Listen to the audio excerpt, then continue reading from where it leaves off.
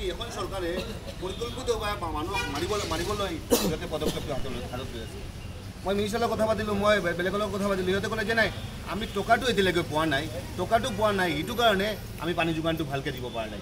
Even ইঞ্জিনিয়াৰে যিটো ক'লে যে মিউনিচিপালিটিয়ে টকা দিব লগা হয় মিউনিচিপেল মিউনিচিপালিটিত আমি ৰিকুৱেশ্যনটো পঠাইছোঁ যিহেতু আৰবানৰ প্ৰজেক্ট মিউনিচিপালিটি আজিলৈ এক টকা দিয়া নাই।